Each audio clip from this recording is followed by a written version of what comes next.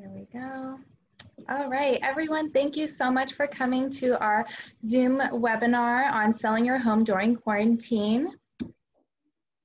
Hi, I'm Stacy Sando with Coldwell Banker Capital Gateway Realty. And with me, we have Elaine Sciacca. Hi, I'm Elaine Sciacca with Coldwell Banker Capital Gateway Realty. And Cicely Sandoval and Donna Marie Nolan from Fidelity National Title. Hi, Cecilia Sandoval with Fidelity National Title, and here is Donna. Donna Marie. I'm Fidelity National Title. I'm Operations Manager for Northern California. Excellent. Thank you for joining us, ladies. Thank you for having us. Yeah, definitely. Okay, we'll dive right in. So oh, in the next 30 minutes, and we're hoping that this will be about 30 minutes, we have a lot to cover, but um, it's we're going to try and condense it. So, um, and we're going to discuss the housing market specifically in Solano County right now. We're going to talk about how things have changed since the big pandemic has begun and what our job looks like now and how we're going to market your home, how you want to show your home, and how accepting an what accepting an offer looks like. Then uh, Cicely and Donna Marie are going to go over title and escrow because that is their department, and they're going to talk about how that's working right now. And then, of course, uh, at the end, we'll just summarize with you know if it's safe to transact during this time. Sounds great. Jumping right in. So as a real estate agent, a lot of questions that I get are just how is the market right now? People are just very curious. So this is something I felt was important to go over uh, during this webinar, uh, especially for a seller. So uh, as you can see, all of these are just data that I've pulled from our uh, local database, our MLS, and um, this system called Ergo. And this information is specific to Solano County. So as you can see, I've compared April from last year to April this year. And remember, this pandemic and everything began with the lockdowns and the shelter at home and all of that began in the middle of March. So I felt like pulling April's data was really good. Also, May is not over yet, so I don't have that available yet. So for the first point of data that I wanted to share was the sale price versus the original price. So in April 2019, you can see that the uh, sale price versus the original price was 98.6%. That means a home that sold that was on the market for 500,000 typically or on average was selling for 493,000. That's a $7,000, you know, decrease from that. So in April of this year, 2020, after this pandemic, pandemic had been going, homeowners who were selling their home were getting 99.43% of the price that they offered at list. So that means that a home, again, for $500,000 was selling at 4000 uh, for $497,150. So the difference between last year and this year on a $500,000 house is about $4,000, just about that. Hmm. So that just shows you, I think it speaks a lot to pricing and uh, pricing your home well, of course, especially uh, during this time. Uh, I think that you need to price your home so that it's priced properly. Uh, obviously, you need to be cognizant of the market and speaking to an expert like your real estate agent and listening to them. Uh, I heard a quote recently, and I'm going to read this because it's awesome. And it says, It doesn't matter if you have the best marketing in the world if your home is overpriced. You are just telling more people that your home is overpriced. And that I think explains in a nutshell just how important it is to price your home at market value. So then uh, next I have the inventory. Um, this 1.7 and 1.6 from last year to this year, that is what we call the month supply. And this number tells you how many months it would take for all the homes that are currently on the market to sell, given the monthly sales volume of that month. Um, four to five months is an average. Uh, for uh, to kind of explain that and put that in better terms, um, if you research in like Solano County, let's say uh, for easy math sake, if 30 homes were for sale in Solano County and in one month only 10 homes sold, that would be that mean that there were three months supply on the market. So 1.7 and 1.6, those are very low, low amounts of homes on the market. So that means our supply is low and supply and demand tells us, those laws tell us that when supply is down and demand is high, which it is because interest rates are at are unprecedented lows. So there's so many people in the market who want to buy a house because it's a good time to buy a house. It's also an excellent time to sell your house. And then over on to days on market, April 2019, an average days on market was 48 days, and this year in April 2020 was 39 days. Um, it means, okay, so days on market means the time it took from that home when it got went on the market to go pending sale. So they've accepted an offer and they have gone through a whole lot of contingency removals and things to get them to that pending sale, which means they are close to a close. Uh, typical escrow period is 30 to 45 days. So those numbers tell me that those homes didn't sit on the market for a long time. They were snatched right up almost immediately after they went on the market. So that is also good news for a seller. That means things are moving quickly. So, uh, next, I want to talk about marketing because once your home is on the market, this looks a little bit differently right now. So everything is essentially digital right now. Uh, because of the virus and people who do not want to be exposed, uh, we have very strict rules on showing property. Um, and the best way to kind of overcome a lot of those obstacles is to have everything available digitally so that there's not a whole lot of in and out of your home. So gone are the days of those traditional open houses. So we're not going to go out and put out signs and invite the whole neighborhood into your house to walk through. We're going to make it possible for people to view your home online. So we want to limit those that exposure and the way we have found to do that is with this virtual open house. Uh, some agents have chosen to use their phone and walk through your property and film it and talk about it, uh, giving the buyers a look at your home and able to tell them all the details. Instead of just looking at pictures where you're wondering where does that door lead? they can tell you that door is to your very large pantry when you're in your when you're in your they're standing in your kitchen or these floors are hardwood floors. Any anything and everything that you would be learning from physically going into that house they're going to try to cover that in that virtual open house then we have social media, online groups, Facebook. We can't put out flyers a whole lot. Um, you know, we, we're not putting door hangers on uh, your neighbor's doors and alerting them to, hey, do you know somebody who wants to be your neighbor? Um, we can't do that anymore. Uh, we're limited in that, that physical touch. So we've been doing a lot online. And how we do this is through all the buyers are going to start online now. So they're searching online, they're searching everywhere. They're looking on realtor.com, Instagram, Facebook, they're looking on Coldwell Banker's website, and we want you to be as visible on these outlets as possible, and we want to give you maximum exposure there. There are also groups on these online groups that I'm talking about on Facebook that are, you know, some are called uh, Travis Air Force Base for Homes for Rent and Sale.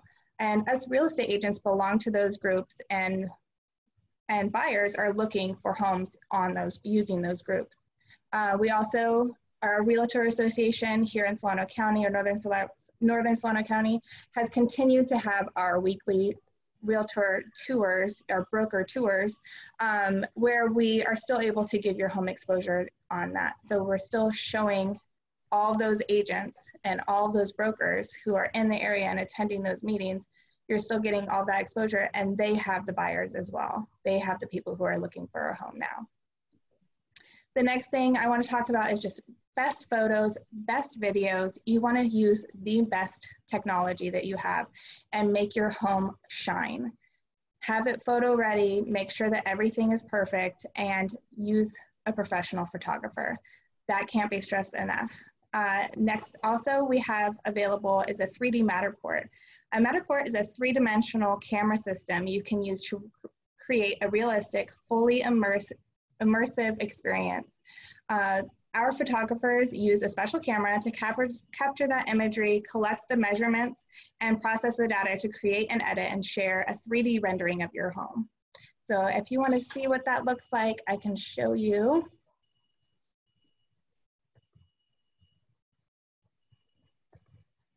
This home I chose specifically because Stacy and I did a virtual open house on this home. And we took the buyers through this home virtually and the agent who had listed this home got an offer from one of those buyers who was at our open house.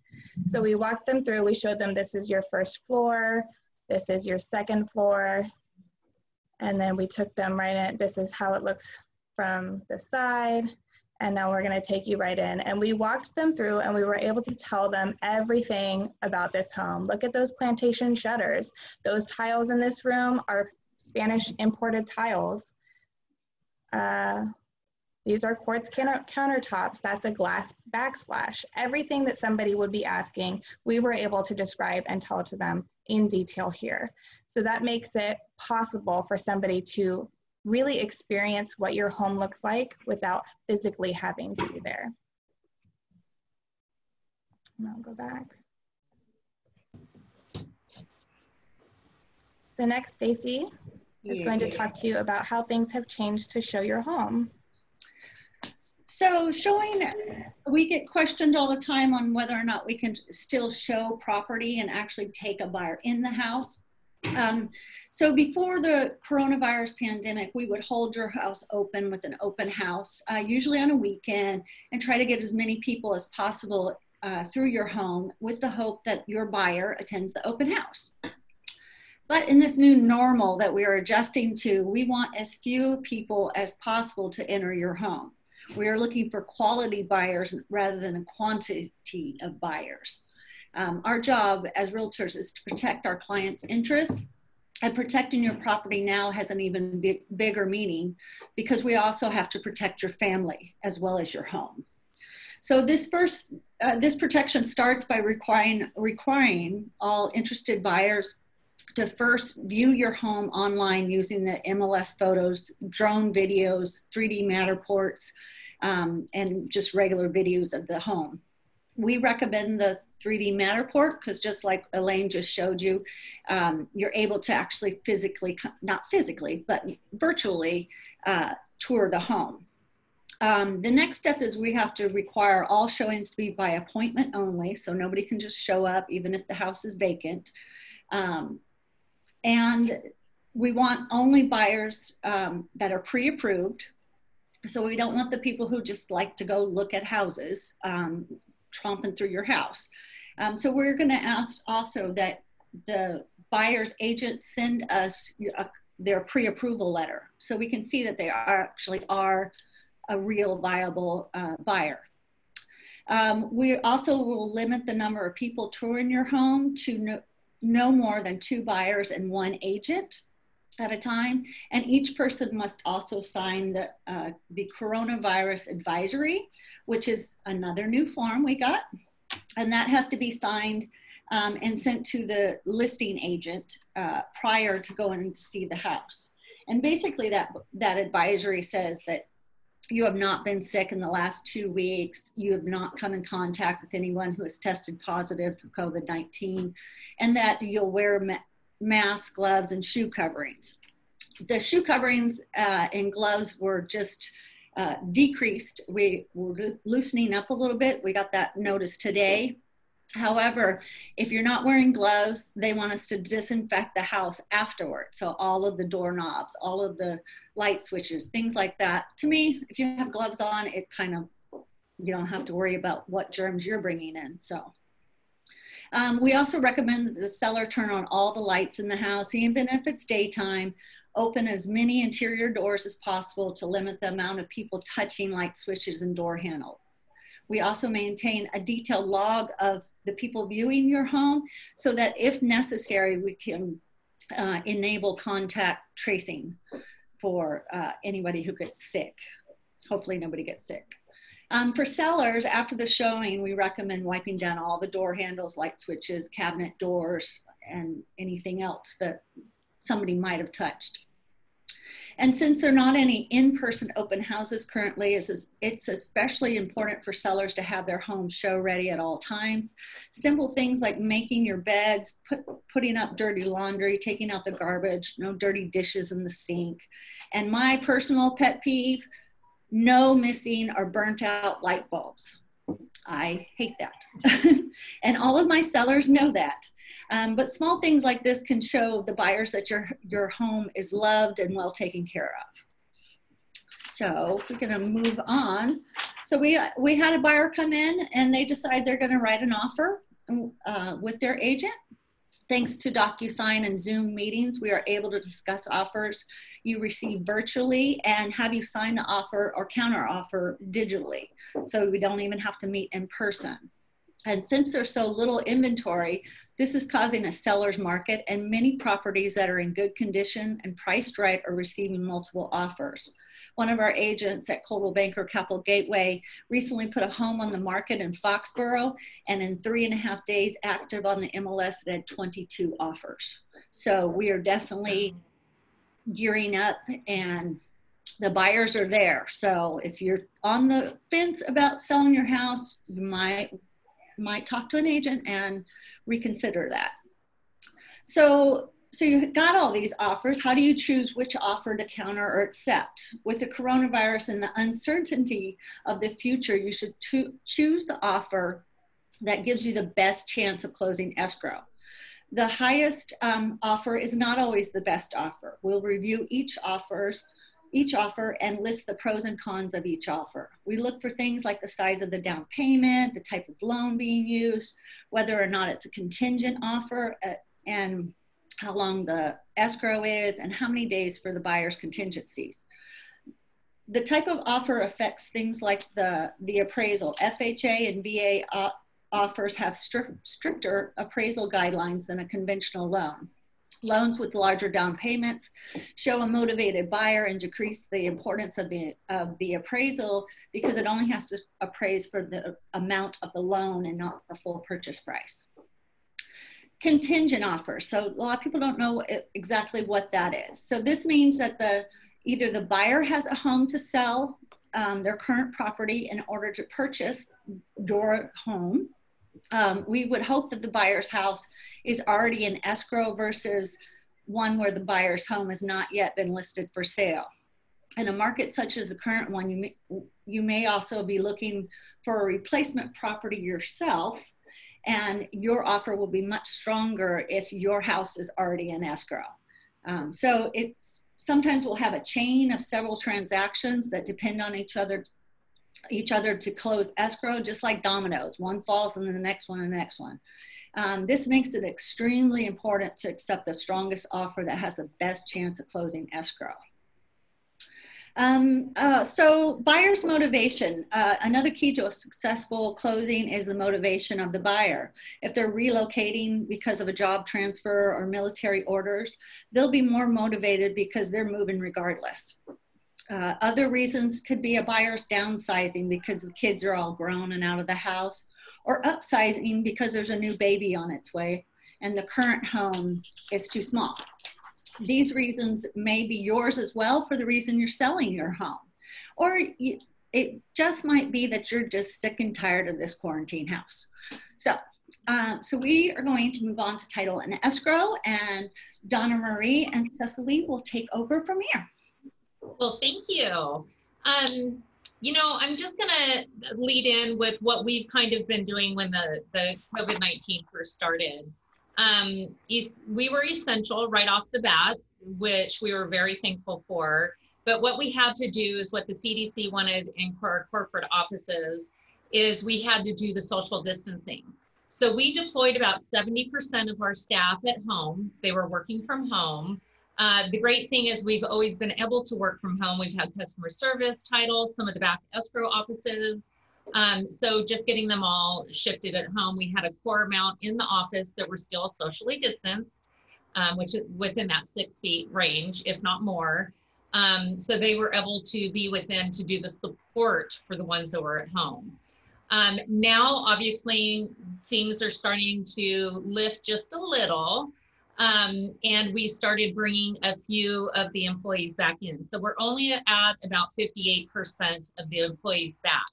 Um, once again, I do Northern California, so there's 14 counties, and every county has different requirements. So we're abiding by that, but um, work has not stopped. It's been flowing just as seamless as prior and before.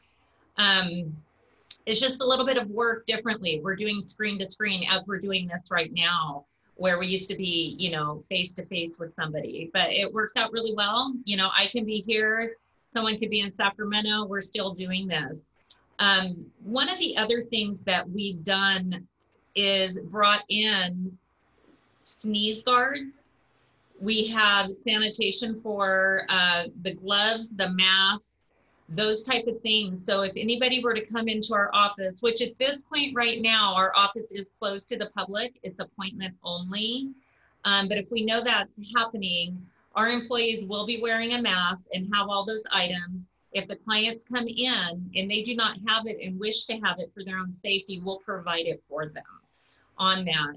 Um, we do want to make sure everybody feels safe from our employees to our clientele to you out there uh, to make sure on that. One thing that has happened is fraud attacks and attempts have even risen more. I don't know if you guys are really familiar with cyber fraud. Cyber fraud in the last five years has definitely risen. I'll just give you a few little stats. 2015, it was 1.1 billion dollars that had got compromised and taken. 2016 was 1.5. 2017 was 1.4. 2018 jumped up to 2.7 and 2019 is 3.5 billion. So you're speaking in the last five years, 10.2 billion dollars that the little sophisticated uh, scammers, uh, fraudsters have been able to pull this these funds. And you never think it's going to happen to you, but you really have to be careful. There's some really easy things to be mindful on. Is for example, you might go to Starbucks, Peet's Coffee, wherever that gives free Wi-Fi do not use free Wi-Fi. That that is their um, one of their main things that they can just pull your information that's out there in the universe, I guess I should say, on there. The other thing is um, you want to use a two-person or two-factor authentication. Most companies are using that now, and if you're not familiar with that, there are companies that you can get set up with for a very minimal fee so if you're sending a secure information out, what will happen is they'll ask your name, you put it in, they'll say, is this a sign? Is this a bus? That type of thing. You'll click on it. It's going to email or text you a code number that you have to put in back to that um, application if you're on your iPad, if you're on your cell phone. And when it comes back, you'll put that in and you'll be able to, to get that information on your screen that you're using. Um, and you know, if you're not sure on something, use a trusted number. If you're getting an email or a text, texting has been huge. They're interrupting um, people's emails and getting their cell phone numbers and texting the clients on that type of stuff. And if it just doesn't seem right, pick up the phone, call a trusted number, call your realtor, call your escrow company, and make sure um, that that information is coming from them in February for cyber attempts have driven up 667% just as of February. That's the latest market that we've been able to get the stats on um, for that. The another thing that we're doing is bringing the people back into the office. When we have the sneeze guard, I don't know if you guys know what a sneeze guard is. I have one right here. Let's see if you guys can see it. See right here? Has a little pass through. Those are things that'll be used in our offices until everybody is comfortable. We have used the outside notary services with our company doors being closed to the public, um, you know, appointment only. And the notaries have just been phenomenal. They'll come directly out to you and they have their own procedures. That can still stay in place.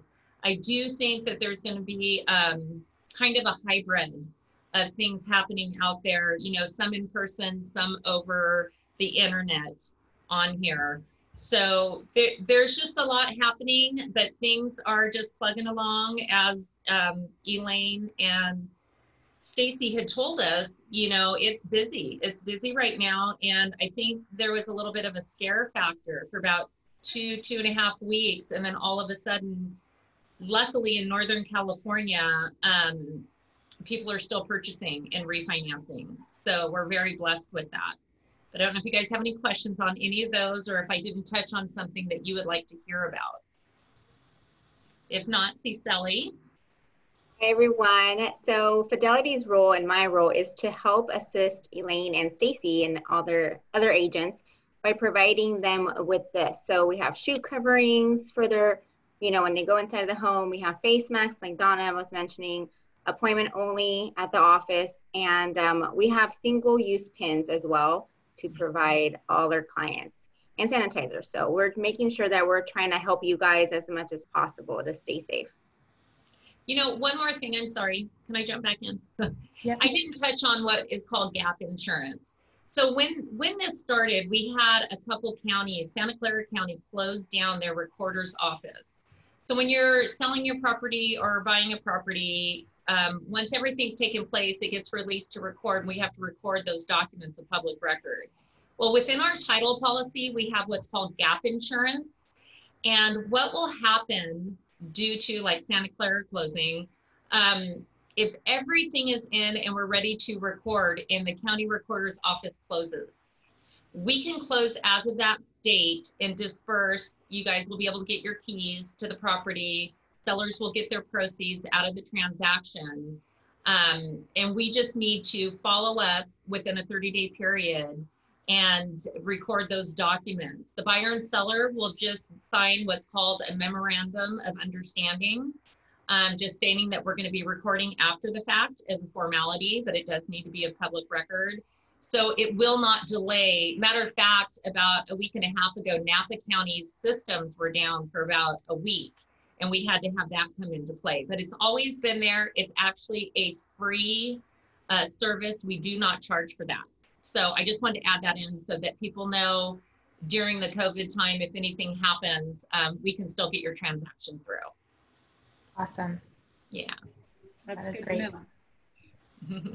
So lastly, we just wanted to kind of summarize and of course, everyone's questioning, you know, is it safe to transact during this time? And there's no yes or no answer for that, but we're trying to make it as safe as possible. As Cicely and Donna and Stacy and I have all been talking about, we're trying to make it as safe as possible and with the least amount of exposure and really utilizing those social distancing um, restrictions. Um, we just want to be respectful of everybody's views on this virus, and I think we all should be that way and be compassionate towards those people who are in fear of the virus. If we're able to accommodate the people who fear the virus most, we will be able to accommodate all buyers and sellers. And we can accommodate sellers who want zero physical interaction through our virtual uh, meetings and through uh, DocuSign and all of everything that we can do digitally, as well as se- sellers who have no fear of the virus. We're more than happy to meet with you if you have questions about that. Wonderful. And we just wanted to say thank you, Cicely and Donna Marie, for being Thank here. Thank you for having us. Thank you Great for- yes, information, thank ladies. you. Thank, Yeah, it thank you. really great information. We appreciate you sharing all of that with us and uh, the process and how it's different, but it's still moving forward. And that's just what we wanted to say is that it's there's some more obstacles now, but it's still happening and it's still a great way, a great time for uh, your home to go on the market. And then if you have any further questions, um, we're going to stay on the line for a little bit longer. Again, I'm Elaine Sciacca. I'm Stacy Sando, and we're with Coldwell Banker Capital Gateway. Donna Marie with Fidelity National Title. Nancy Sally Sandoval with Fidelity National Title. And thank you everyone for joining us. If you'd like to stay on the line, we're just going to stop recording for right now. Sure.